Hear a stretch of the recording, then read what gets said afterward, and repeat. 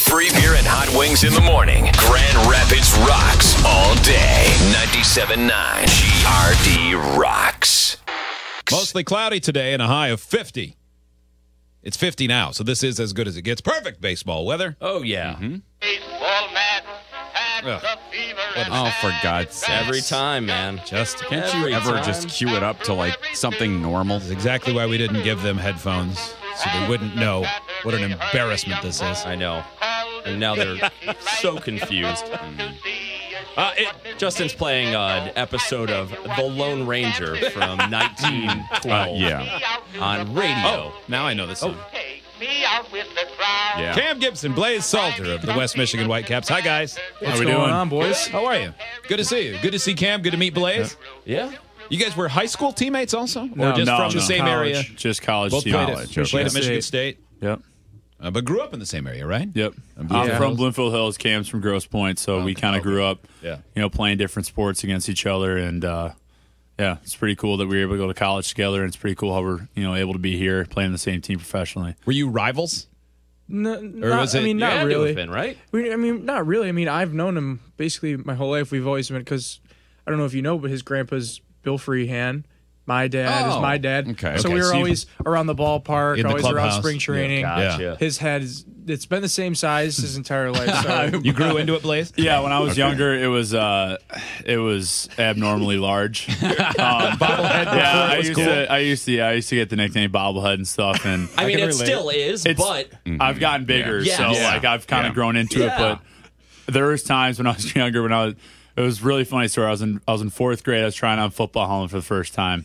And I went down. They like called us on the PA. They're like, "All right, every fourth grader come down for football helmet." So I go to try on, and it was the biggest helmet they had, and they couldn't get it off. And they tried everything, so they're pouring no. water down it. Oh, They, and jeez. They ended, up Let's having swell to get, head up. they ended up having to get like a little saw and saw it down they the had to saw the helmet off Yeah. of your head. Just like the plastic part and then split it apart. So oh, it's too bad that's I've not had- on film. I've had a uh, I've had a a long history with uh, getting into helmets. That's an er- that's an age when you're starting to be sensitive about stuff like that too. Like yeah, I've I, yeah, just it was tough. Were you you always, using, because you're like, what six five now? Yeah, 6'5", yeah. So were you you were always the big kid. yeah, It, I, I wasn't like as tall as I am now. When I was growing up, I was just I was a tall. would- that makes no, I was like no, no, I didn't mean it. I didn't mean it in that sense, but like he, Hot Wings might have let you slide, but Yeah. Cam was looking at you like you were crazy. Yeah, I Cam, was uh, going to, but as soon as I does that a got verification from Cam, I go, all right. Your poor mother when you flew out of the womb at 6'5", 235. yeah, Kidding. she uh, I'd like to meet both halves of her. Seriously. it was uh yeah, it was tough. But no, it was it both my I have two younger brothers too that are that are that are big as well. So it, it's been a uh, it's been a uh, fun journey of So- growing up. Like it, I, I assume when it's not that long ago that you were you, you were a baby, but like when you have kids now, you go to the pediatrician and they give you that printout, like oh your kid's in the. Oh, yeah. I have a kid who's in the uh, fifteenth percentile for uh, height, 25th for weight, and he's uh, above the one hundredth percentile for head size. So like you, I mean, I think I was in the 300 percentile for heads. I had to have been something higher than the Yeah, 100. you were alone. It's like your, your parents started using the clear on you as soon as you came out. You're going to be a ball player, son. You're going to play baseball. Just Yeah. put it on his head. yep. It, with yeah, with your grandpa being Bill Freehan from the '68 Tigers and stuff. I mean, is that were you? That's I guess Cam to, for a degree too. Though your dad, a two sports star, obviously, mm-hmm. and and you know stuff like that. But there's a is there a pressure to pick baseball? uh, You know, or, or did you just naturally gravitate to it anyway? No, it was one of those things where I was growing up. Obviously, my grandpa, when I was from when I was like one until I was eight, was the head coach of Michigan for baseball. Sure. So I grew up, you know, around the game and stuff like that. And obviously, I saw guys like that Michigan that was like Mike Matheny played there at that time. He's the coach of the Cardinals now, and I saw guys like that. But I mean, I played growing up, played every sport basically. I played football, hockey, basketball, and all those. But I think it was once I became a freshman in high school I realized that you know I actually had a shot of going somewhere in baseball. And Yeah. I think no one really pressured me to do so. Obviously, with my you know background in baseball, that people would assume that you know my grandpa or my dad or mm-hmm. something like that would push me towards it. But no, it was kind of on me that Just- just, yeah. kind of happened. What is the best statistical year you've had at any level where you were keeping stats? Because I just remember it just popped into my head as you're talking about specializing. My nephew um, in the Class D uh, made it to the state finals, and they ran up against a kid who was hitting like 705 on the season. It was like slow pitch softball, except it's you know Yeah. And he played in a good league in Detroit, and he just they're like, yeah, they, he hits everything. And every time they pitched to him, he was driving it into the gap or putting a home run. I mean, I mean, I don't really, I don't think they really keep Yeah. stats in Not until high school, yeah. yeah. I mean, I think that. But were you the kid in Little League when you come up, Cam, that all the other kids are back up, back up, and the and the kids that were scared who were out there picking shamrocks and throwing rocks at each other Surely. are standing by the fence Yeah. with, I mean, that with one glove case. over their crotch and their hand over their face, trying not to get killed. Like, can this game end that's so I can go to the snack bar? That's what I did in right field when monsters like you guys came up. Mm-hmm. That was kind of the case. all the case. time. There was one game where I had I had three home runs already, and you know I, I stepped. I was because I was also one of the the taller kids. Yeah. but I mean not like Blaise. Right. But I No, stepped no, up. normal size Yeah, head. yeah, you weren't and a they little and they tried to intentionally walk me, and my I looked at my coach and you said Right. he told me to swing at it. So Yeah. they they threw the first intentional walk pitch, and I hit an, another one out. You, s- just step, step Did you forward step a little over bit. the plate Just and, and just over a reach little out? bit. Yeah, because it's probably a high schooler umping. He doesn't want to call you out when you Oh, mash yeah. one over the fence. yeah, he's not going to do much about it. That kid is still crying right now. Where I grew Yeah, up, he they- never it, got over it was that. a small town. walk. So we had two diamonds, and the main diamond had a regular fence, you know, an aluminum fence, mm-hmm. but it was set for because they also played softball, fast pitch, and, and everything else there. So in little league, no one was hitting it. So most most of the big players would barely hit it onto the grass, and then, like I said, mm-hmm. someone one of you guys would hit it, and I would run for an hour, get the ball, turn around and throw it to the cutoff man, and see uh, Guys already home. You lumberjacks mm-hmm. rolling Yeah. around third, walking Yeah. into home, Yeah. high fiving my mom. God, this sucks. Yeah. That's why you I'm got gonna you play should, basketball. should have done what I did and ignore everything the coach told me. See a guy running to home and throw it as hard as I can and watch it bounce just beyond second base. and then watch my team hate me and my coaches pull their hair out. That's You, the way you, you do should it. have seen me. All I would do, I knew I could run faster than I could throw a ball, So so, I would run just it run it home. Oh, man, did I hate having teammates Yeah. like you. Yeah. That guy doesn't even know how to play. No. no, I didn't. I At least I knew how it- to play, I just could couldn't. only throw it eight feet. Uh, I still want? can. My parents, when they were supposed to teach me about baseball, were fighting and divorcing. Oh, I know all about that. They sold their Cam I could play divorce like no one else. the Whitecaps. You want to see me pick sides? Yeah. Look at me go. I'll throw clothing. Uh, I was just watching. Uh, it's uh, not the most recent episode, but HBO Real Sports had a thing about um, Rick Ankiel.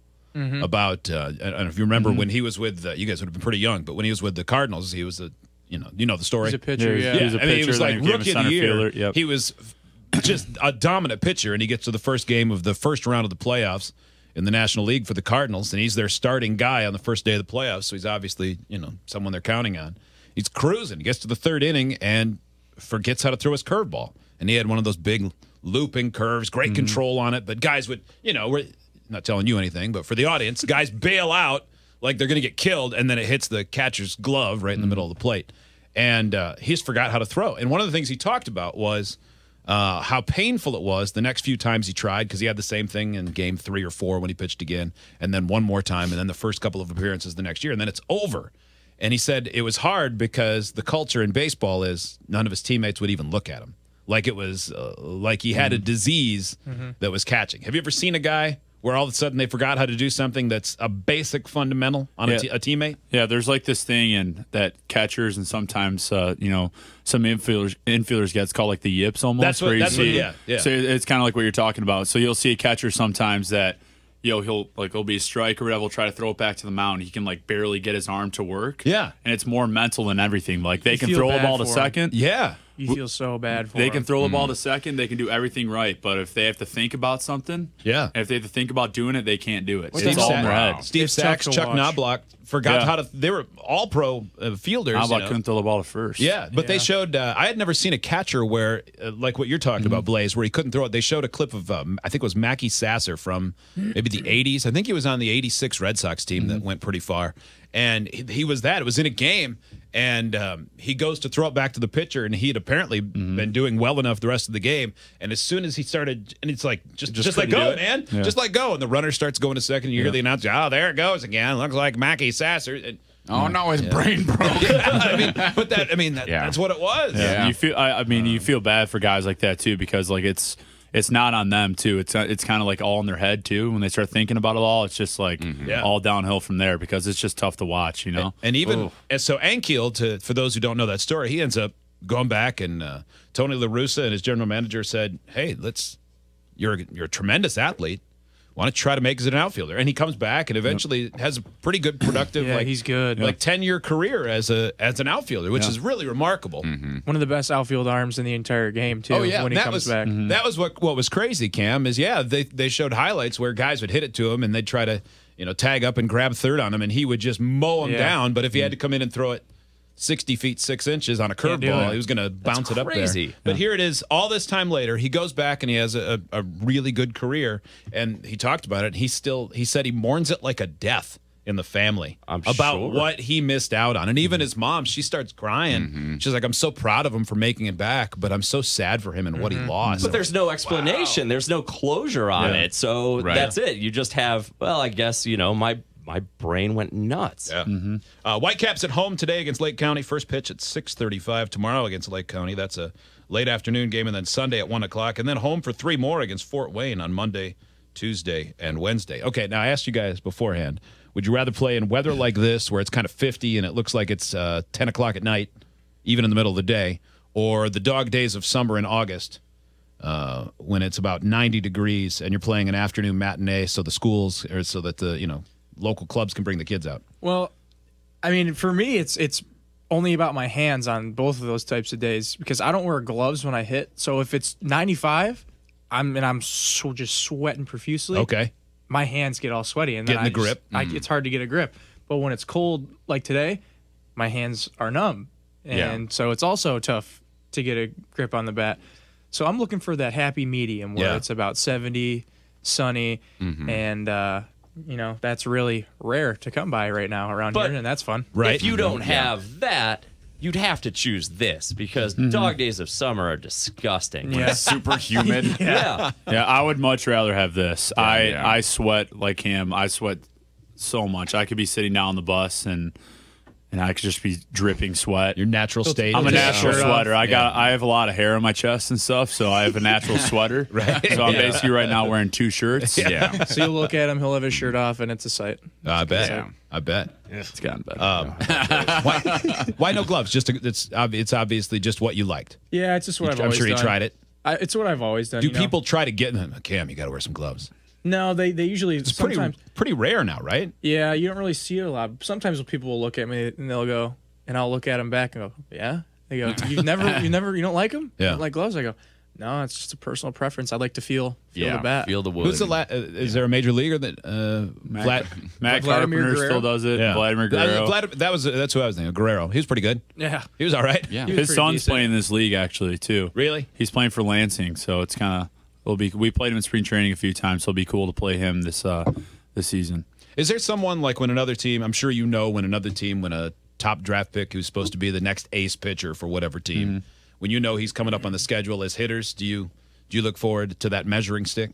Yeah, I mean, it, I think it's pretty cool. It's always cool to measure up against guys that are you know sought after prospect wise. I mean, me and Cam, I know take it as a challenge in a way. You go up to the plate, you know, it's it's almost like a win win in the situation. You know, like that guy is a, is a top prospect. Like if he gets you out, it's like you know he's a good pitcher. Like he's got good stuff. But if you get a hit, it's almost like all right, you know, like I, I see where I me see where up. I'm at. Yeah, Some somebody's going to notice. that. Exactly. If you do well and a guy's there, it's always a good thing. It's like in college too. If you did well in front of scouts and when they were there, you know, Yeah. you got an opportunity to play at this mm-hmm. level. So it's always good to face guys like that because it's good for you and it's also good for maybe your future. Cam mm-hmm. Gibson, Blaise Salter with us. Now, both of you guys grew up around big leaguers, so seeing big leaguers probably not a big deal. I would assume at this point, It- Yeah. it's so run of the mill. But have you seen guys where somebody comes down, like current big leaguer comes down for like a rehab assignment? You're facing a, a great pitcher or a, or a hitter where you know this guy's maybe the starting shortstop in the All Star game, and now he's rehabbing. Uh, Have you seen anyone uh, where you would go so far as say starstruck? if not for you, maybe a teammate who didn't have a chance to grow up around Tiger Stadium I or actually, Comerica. have, I actually have a really funny story about that. So last night, Cam's dad actually came to, was at our game, Mm-hmm. and uh, so we're in the clubhouse after, and our roommate, his name's Cole Beimel, he's from Saskatchewan, Canada, so he's from way up there, and Mm-hmm. Yeah. there's not a lot of like stars and stuff up where he's from. He lives Right. on a farm. He lives on Yeah. a farm in the middle of nowhere. Right. Great kid, and This is the biggest city he's ever been to. Yes. Yeah. He's your prototypical Canadian farmer. Just- yeah. Okay. so he okay. comes. He can drink a 24 pack and Exactly. still be yeah, sober, he's right? good with that. Yeah. You want him on your team with that aspect. And he's So- 14. so he uh, Super strong. yes. So Cam's dad comes in there, and uh, you know he's just talking to Cam. He says hello to me. We're just Critiquing me on the talking. Yeah, Yeah. just talking about the Yeah. game. And then after Cole, our roommate, comes up to me, he's like, "Man, that was." I'll do the Canadian accent. Like, mm-hmm. man, that was pretty cool. You know, I've. I don't see many uh, MLB guys up where I grow up. So Right. when he walked in, I, I kind of got really starstruck. So it was like, Is that the same thing he said the first time he saw a mascot at Fifth Third? when we went to That's the the biggest building, river rat I've ever seen. I've never seen a pig in an inner tube, eh? when we played in New York City last year, he was pretty rattled too. Really? Yeah. He just, I mean, he's just a small town kid that you know hasn't really seen much, and it's pretty cool for him to get to experience all this stuff. We, uh, I, I do uh, some college football on the side, some play-by-play, and I worked with uh, a guy named Curtis Conway who played with four teams, and he grew up in South Central and then went to USC. And he he's he's a smart guy. Like if you meet him now, he's been retired for a number of years. But he told me a story one of the first times I met him, and he said, "So I get drafted by the Bears. He didn't want to get drafted by the Bears." And so that was already the story right away. And I'd asked him what it's like to be on the negative side of, you know, the newspapers mm-hmm. when you're an athlete and your side of the story is not out there. So it was our, the story already was is, is he going to hold out and he held out a little bit longer. He got some bad advice from his agents. So the Chicago media has already turned on him. Well, then they go to training camp and they're training on the north edge of Chicago. Mm-hmm. So he doesn't see downtown. And he goes, I was ignorant. I didn't know what Chicago was. I knew it was in the Midwest. So I expected cornfields and no hmm. city. So after about three weeks of training camp, he says, F it, and gets on a plane and goes home and he's ready to quit or sit out the season. And now his grandma says, Son, you're an idiot. Um, Chicago's a big city, but also our family's counting on you. Um, you know, uh, this is an opportunity you have to get out of South Central LA and go and make it. And so he reluctantly goes back. He's getting slaughtered in the Chicago Sun Times and the uh, what's the other the, Tribune. The Tribune. I mean, he's the the blown pick, a wasted pick. He's an idiot. He's selfish. He's a diva. So he gets back. Their first preseason game is in Green Bay. So they take a bus from the northern suburbs of Chicago to Green Bay, and he's like, "Oh my God, it only gets worse. This, this is terrible." Yeah, there's not much. In There's not much in Green two. Bay. So no, then no. they play that game, and then they all go uh, back to the normal Bears facility, and all of a sudden he realizes, oh my God, this is an amazing, thriving city. There's a I just- skyline. I just was too dumb to know, but he couldn't go back and you know hold a press conference and go, "Hey, media, it's not that I'm a diva, I'm stupid." I didn't look south. You I can was- see the skyline from Indiana on a Well, clear day. yeah, I mean, he couldn't see it when he flew in. I don't It's know. right there. I don't know. I was Yeah, did born without I the mean, ability If to you flew look into Midway, you'd be south. flying right through the middle of the city. I wasn't. I wasn't comfortable asking him these questions. Yeah, you know. yeah. I'm not a Bears Right fan there. either, so Right. Makes sense, right? Typical Bear. yeah, I, I'm not a big fan of the Yeah. Bears either. Uh, game tonight against Lake County, six thirty-five is the first pitch. Uh, you guys both guarantee a home run for a sick kid. I'll name a sick kid if you need me to. Oh Yeah, God, we don't put that That'd be me tough. right now. I, I would feel terrible after Yeah. the game too. Have you ever had anyone that doesn't really happen, does it? No, I hit don't a home really run for think. me? I don't really think My mom and dad us do. do it. Do they? My grandma will text me out of the blue saying like, "Hey, like watching the game tonight. Hope you hit a home run." I was like, "I can't promise anything. I'll try my best." How about I just hit for the cycle? Yeah, I'm I'll at it, just right? I'll, I'm just gonna try to get a single. You might not know this, but we actually have two sick kids. Yep, and they're in the hallway. Here today, and one of them is Freebeer, and one of them is Steve. They have Gilbert's disease. yeah. Steve. That's not a joke. Yeah, one right day they will Yeah. turn yellow. Yeah, they're Yeah. dying. Yep. Yeah, we each are diagnosed with a syndrome that only three to twelve percent of the population gets. Yeah. so it's uh, a lot of jaundice. Oh, except babies, yeah. More Yeah. Okay. babies Yeah. get this uh, and grow out of it, but It's they're sexually Benjamin- transmitted, but yeah, That's why they both These guys have are it. like, I don't know what's true about They this. got it from docking nipples. Oh man, a lot of uh, fully clothed 69 going on. Yeah. yeah. Cam, I saw uh, an article about you where it said you went back in the offseason, kind of changed your approach at the plate. Yeah. Uh, less power, trying to embrace your speed a little bit more. yeah. What is the, the how do you get to the point where you go, I want to do this or I need to do this, whatever it is, and then what do you do to kind of break down a habit that you've had for a long time? Well, my dad always asked me because when I played um, in college, I was more of a contact hitter, Okay. which I'm trying to go back to, and that's when I when I played at my best. And he said, "When did you play your best?" And I said, "Probably in college when I wasn't trying to do too much." And so uh, we went back and we thought about you know what I did then, what what difference it makes now, and I said, you know what, I think these past couple years I've just been trying to do a lot at the plate. Like I'm trying to go get the game rather than let the game come to me and mm-hmm, use mm-hmm. my abilities. And so we were sitting in the cages one day, and I said, "What about you know like Pete Rose? You know, remember how he swung?" Mm-hmm. And I got down in the Pete Rose type stance, and he threw like five in a row. Yeah. and it was just boom, boom, boom, like three in a row, just like line drives up the middle, other way. Right. And we kind of sat there, we are like, all right, I guess we'll just keep working with this. Yeah. This, is, this mm-hmm. looks like it's going pretty well. And so the uh, entire off season, whenever we would go hit, we would work on that.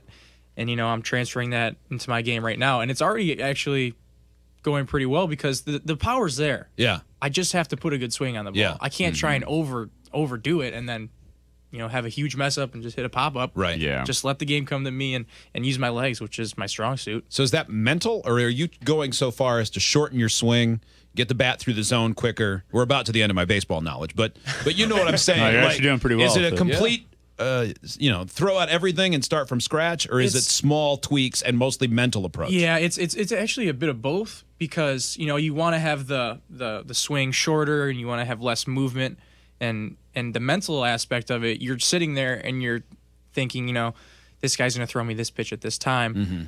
Um, if it's an 0-0 count, look for a mm-hmm. fastball right down the middle. Mm-hmm. Don't try and swing at the ball that's an inch off the plate. You just have to let the game come to you. And last year, that's what I was doing. I was just swinging like the zone was as big as a beach ball. and, Yeah. you know, You're gonna go get it. Yeah, that's not very smart. And this year, I've already had a lot of talks with with our coaches, and they're saying, "Hey, you know, you're you're quick. Get on base. The power is going to come, Mm-hmm. but play your game. And and if you're going to swing early in the count, swing at that number one pitch that you know you can hit over the wall." Makes sense. Hell yeah. Makes sense. Now, I know some of the players that have been in with us before, uh, particularly Joey Pankake and Ross Kivett, have told us that if you guys want uh, instruction on batting, the crowd always has good ideas Right, right. for what you should do with your Yeah. swing. Yeah, Yeah. it's Uh, so that's something to keep in mind. I don't know if you they're guys probably knew the that. best hitting coaches. Like, Yes, listen Yeah. for the word Yeah. idiot, and then whatever follows that, do that. Whatever So, swear yeah. word after Gibson that. hit a yeah. home run, you moron! Like that's Yeah, usually yeah, I, I go up and I say, I, I better do Yes. this. Or if you listen Yeah, to little kids trying to say, "Hey, get me a hit" and stuff. Yeah. or- Yeah. At least you can chalk that up to being precocious and uh, not knowing any better. Yeah, but it's but the it's- adult who Oh, yeah. didn't even make it to American Legion ball telling you how No. to get the bat Probably- out your Yeah, shoulder. here- he here's probably what it he probably blew it out in middle school or something Yeah, like that. A dude who's Right. covered in nacho Yeah. cheese along the third baseline. Yeah, but that Yeah. kid, that man is that way because he didn't get yelled at by Yep. a ball player Yep. when he was a kid. Nobody he told to him how to do it. Is walk over to him and go on a racist tirade. that will fix a man. Can you, you imagine tonight? Cam walks over to a little kid and goes, "Want to see me beat the hell out of your old man? Yes, Why don't you shut your face?" gotta scare him. That's how baseball used to be. yeah, right. Good days. Talk on, man. Right? Seriously. that old story about him hitting that crippled guy. and That's the guy exactly goes, what it Ty, was. don't hit him. He's crippled. Shouldn't have, shouldn't have mouthed off if he can't back it up. That's what I was uh, man. envisioning in my I don't know if it's true, but I've heard it enough that I believe it. Oh, Yeah. it is. Yeah, it is Uh, Blaise true. Salter, Cam Gibson, good to see you guys. Good to meet you, Blaise. Uh, look Yeah. forward to seeing you and uh, continued success, man. Thank you. Appreciate it. Thanks, guys. Thanks for having us on. Uh, Caps tonight. Go see him, 635, first pitch, whitecapsbaseball.com. See you later. We're all leaving too. Bye. Yeah.